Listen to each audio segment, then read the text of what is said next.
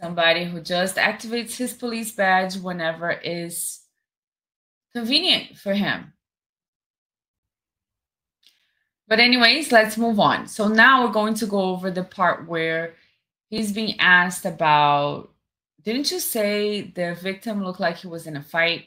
And we're going to see how his body reacts here.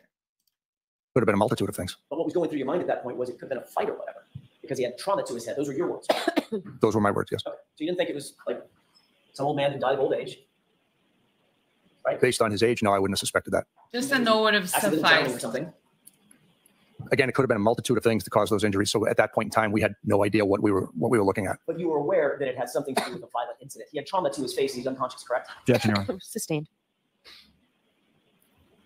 Did you believe that there were any indicators that Mr. O'Keefe had been involved in some sort of a physical altercation? Possibly.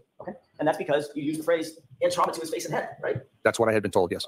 So based on what you had been told, you knew that there was a person laying out uh, unconscious just outside a residence that may have been involved in a physical altercation. That's fair. It's a possibility, yes. Again, there were a multitude of things that were going through my head as possibilities. But that's one of the, the premier possibilities, right?